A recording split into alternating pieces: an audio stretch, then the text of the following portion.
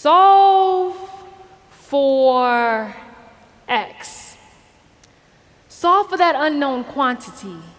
That is the discrepancy of being a fraction of a population within an occupation for which I am more than qualified to have that job, that role, that respect.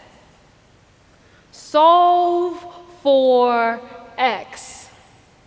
An equation is a statement.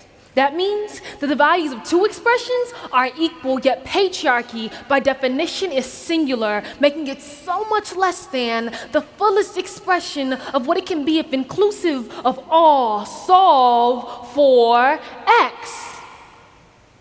But how do we solve for ourselves when we live in a world that decides my ability resides not in my accomplishments, my achievements, my advancements of a body of knowledge, but instead, I am judged by an identity that does not define the quality of my body of work. Technology is a multivariate system, and my identity is not an epithet by design. Who I am is not a convolution that requires a solution. X is not an unknown quantity, and exclusion is not the answer. Together, we must solve for X, for X is us.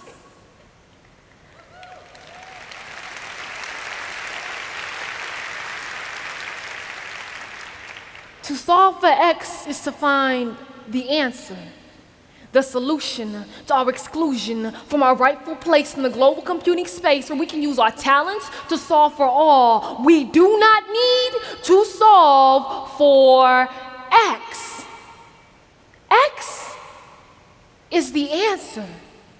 It is we, all of us in this space, a place with a community that takes our contributions and elevates them to a celebration and puts women in tech on a global stage. Our talents and abilities are not an exception, but exceptional.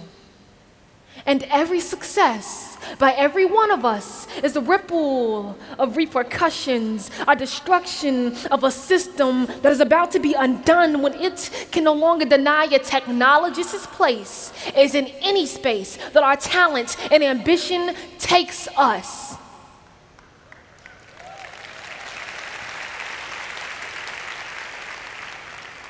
Because not only can we do the job, we do it backwards, jumping over misguided landmines and outdated attitudes. If we raise our voices together, we can be loud enough to drown out the voices of the ones who say, solve for X. We do not need to solve for X because X was never an unknown. We are right here. We are the answer. We are a force. We are changing the world.